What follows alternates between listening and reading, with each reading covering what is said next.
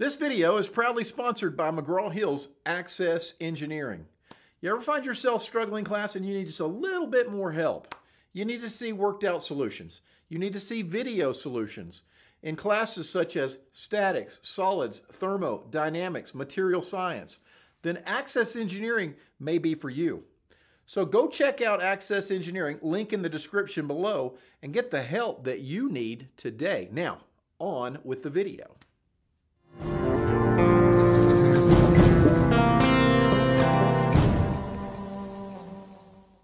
Hey friends, welcome back. We're here today. We're talking about trusses.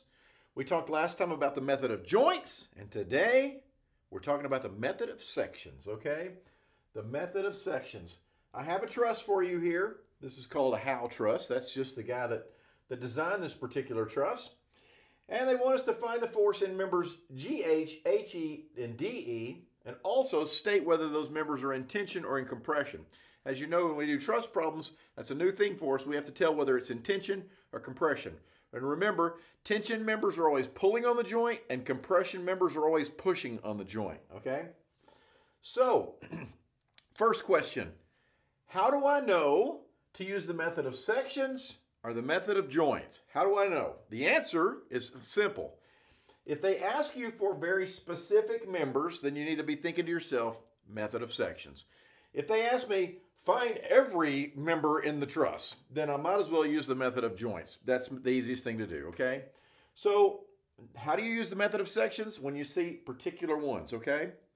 And what I like to do here is, um, is highlight the ones that they're asking me about. So they're asking me about uh, GH, HE, and DE. So here's GH up here. I'm just going to kind of make them blue. Okay, so that one, uh, HE is this guy okay? And DE, which is this one here, okay? Just to kind of remind myself which members they're talking about, okay? So I have written you a recipe over here. Uh, we like recipes, don't we? If you follow this recipe, you can do method of sections, piece of cake, right? Step one, find global equilibrium, okay? Now global equilibrium is, that's just for the reaction forces, okay? So where this thing is hooked to the globe, where is it hooked to the globe? At point A, and point F, okay? Over here at F is a roller, so guess what?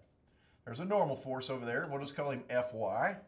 And then over here is a pin connection, okay? It's got an AX and an AY.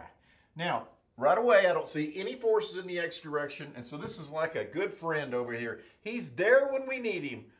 We just don't need him right now, okay? So, he's zero. Okay, so how can I find um, AY and FY? Okay, now if, since this is a symmetric truss, if the load was symmetric, I could have just divided in two and said, okay, you got half and you got half. But the load is not symmetric, and so we're going to have to write a moment equation. So I'm going to go up here and do global, okay? So here comes global. Okay, and what I'm going to do, I'm just going to take the moment at point A, okay, this being positive, okay. So I'm going to take the moment here, okay, and I get, I'm going to go over here first. Fy, whoop, rotating me positive. So Fy times 2, 4, 6, 8. So 8 Fy. And then the 7 is rotating me negative, right? Times two, four, six. So minus 7 times 6 and then the 4 rotates me negative. The 9 does too, doesn't it? So 4 times 4, so minus 4 times 4, and also minus 9 times 2. Okay? So what is that? All right, here we go. On, clear.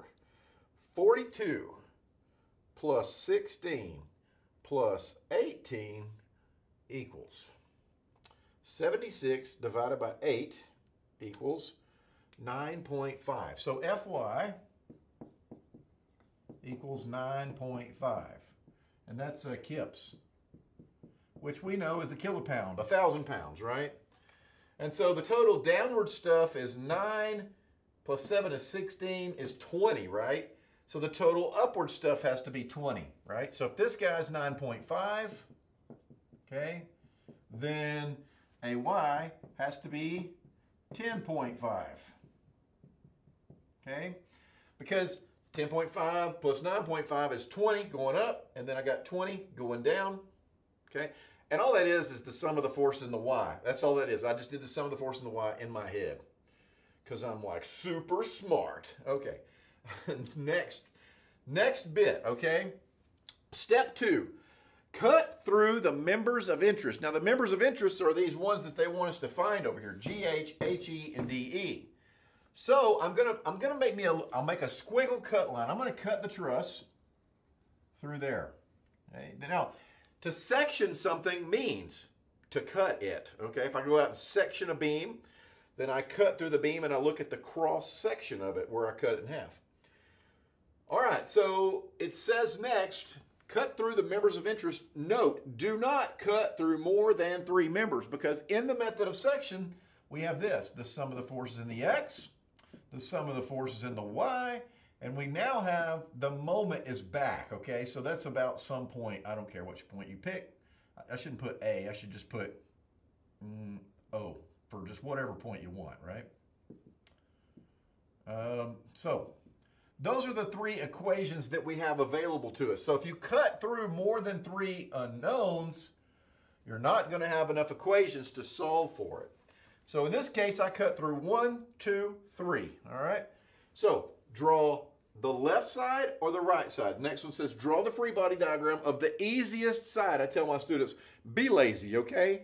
Draw the easiest side. And it doesn't matter which one you draw, you're going to get the exact same thing. So let's draw that side over there. Okay, so I'm going to draw that free body. Um, here's the this triangle, and then it has a force here, one here, and one there. So there's my three members. Now, on the method of sections, I don't generally try and get these directions correct. I always guess them all in tension. And then we'll let our math sort it out. If I get a negative for one, then hey, it was really in compression. I, I guessed it in tension, it was really in compression. No big deal. Now let me put the other forces on here. So we've got over here 9.5 kips. And then this is uh, HG. This is uh, HE. And this guy is DE. Okay, so let me, do, I'll just label these. This is G and this is E okay? And then also there's a seven kip right there. So any forces on that side of the truss that I draw, I have to put on my free body, all of them. Okay, now the next step says solve. Well, yeah, because look what you've got here. This is just a little old normal statics problem, just a regular old statics problem. Okay, so if I take the moment at point E, being positive. What do I have? Who gets knocked out if I take the moment at E?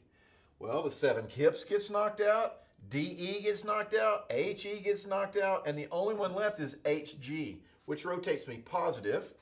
So HG times how far away? Well, from point E all the way up to there is 2. And then I've got this guy, this 9.5, which also rotates me positive. And how far away is that guy? Well, he's also 2. Okay, so I can divide everything through by 2, and I get uh, Hg is equal to negative 9.5 kips. Okay, so what does that mean? That means that I assumed Hg in tension, but Hg is really in compression. Now, you can leave it alone. You can leave it just like this, and then every other equation that you write from here on out, every time you use HG, you have to put in negative. For me, I think that leads my students to a lot of mistakes. So what I would say is when you get a negative, right, go ahead and fix it. Okay, I'm just gonna, I'm gonna fix it.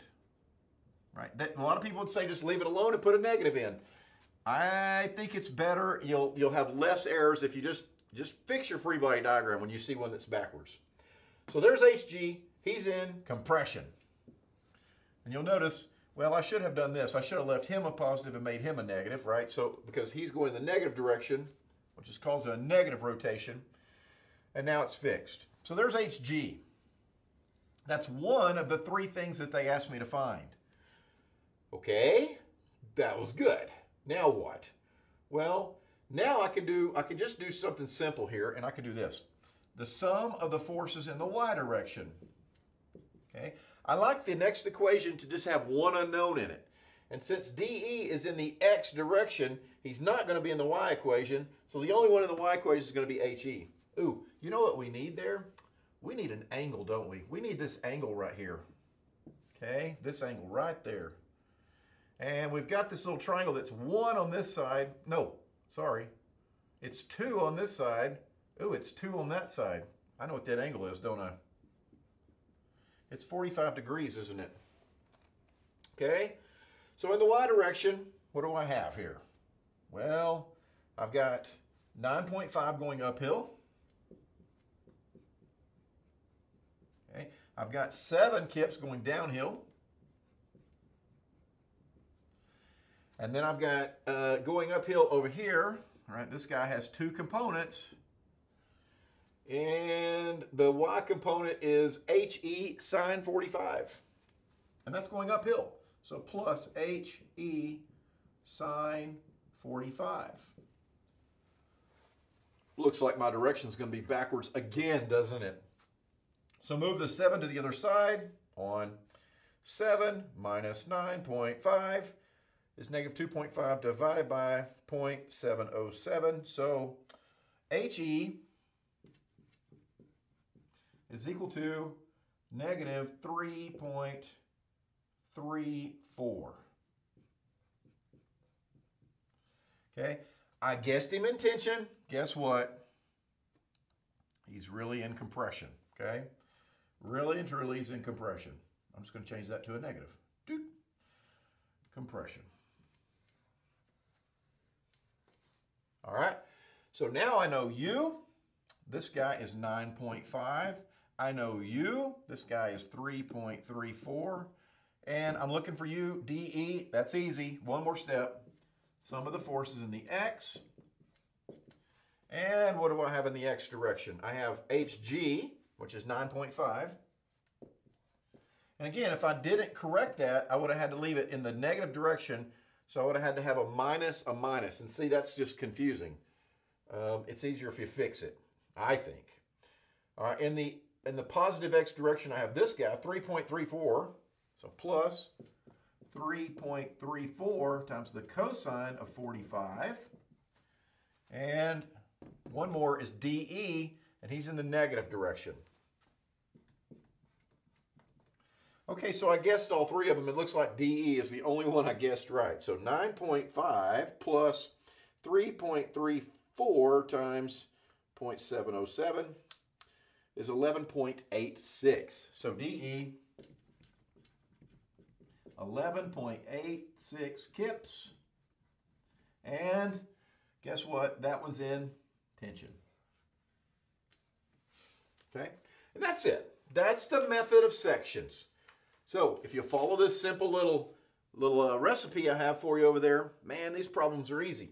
Just cut through the members of interest, take it apart, draw the free body diagram on the side, now remember this, you don't find anything out about these ones that you didn't cut. If you don't cut a member, you don't find out what's inside of it. So don't worry about the ones that you did not cut because they're the sum of the forces in those is zero and you're not going to find anything out about them.